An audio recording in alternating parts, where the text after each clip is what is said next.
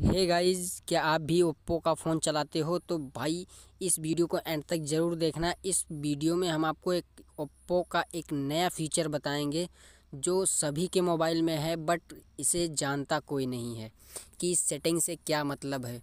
तो गाइज़ आज मैं फुल डिटेल्स आपको दूँगा उस सेटिंग के बारे में, और वो सेटिंग आपको प्रैक्टिकली मैं करके दिखाऊँगा।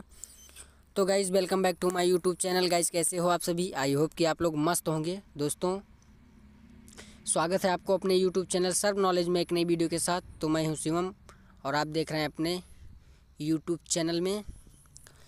तो गाइज़ ओप्पो ए तिरपन और ओप्पो का जितना भी नया फ़ोन 2020, 21, 22 में जितना भी फ़ोन लॉन्च हुआ है सभी मोबाइल में ये फ़ीचर दिया हुआ है। और इस फीचर का मतलब क्या है वो मैं आपको वीडियो में आपको फुल डिटेल्स देने वाला हूँ। तो वीडियो को बिल्कुल भी स्किप ना करें और वीडियो को एंड तक ज़रूर देखें। इस वीडियो में आपको पता चल जाएगा कि इस सेटिंग से क्या मतलब है। और बहुत ही गजब की सेटिंग है ये। तो आज मैं आपको लाइव प्रूफ दिखाऊँगा। तो चलिए गाइज़ वीडियो को शुरू करते हैं। तो हम अपने सेटिंग को ओपन कर लेंगे। अब यहाँ पर आप देख सकते हैं, यहाँ पर गाइज़ एक सेटिंग आपको दिख रहा है। पर्सनलाइजेशंस इसका। तो इस पर हम क्लिक करेंगे। अब ये देखिए गाइज़ इस तरह का इंटरफेस आ गया। अब इस सेटिंग से क्या मतलब है? पहला, यहाँ से आप देम का वॉलपेपर चेंज कर सकते हैं। दूसरा आइकन स्टाइल जैसे कि ये ये देखिए, जितने भी ऐप हैं, इनका स्टाइल आइकन तो इसे चाहें तो आप दूसरी तरह कर सकते हैं। डिफ़ॉल्ट पर आप दूसरी तरह कर सकते हैं।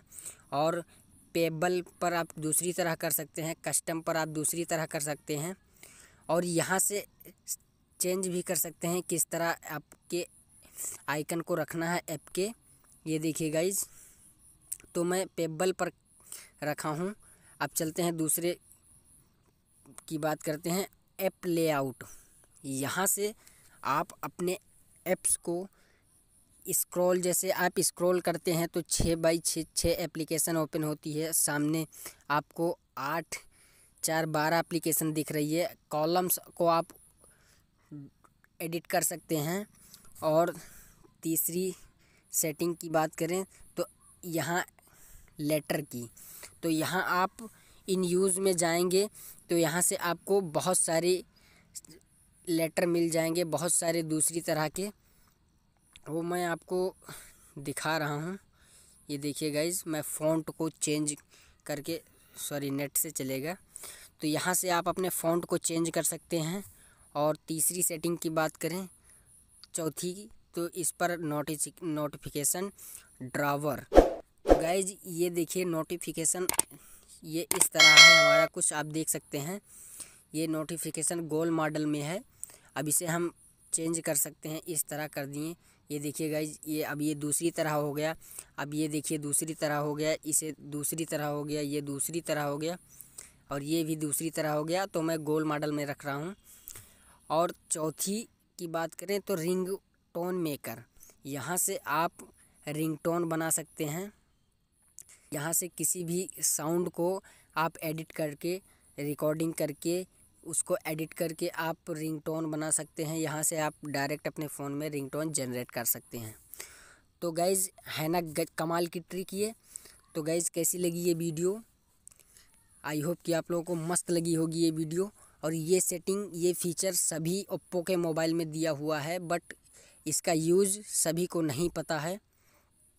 तो गाइज़ कैसी लगी वीडियो कमेंट करके ज़रूर बताना कि वीडियो कैसी लगी। तो चैनल पर आप लोग नए हैं तो प्लीज़ चैनल को सब्सक्राइब कर लेना और बेल आइकन को भी प्रेस कर देना ताकि मैं आप लोगों के लिए ऐसी ऐसी न्यू ट्रिक की वीडियो लाता रहूँ। तो गाइज़ मिलते हैं फिर नेक्स्ट वीडियो में। तब तक के लिए जय हिंद, जय भारत।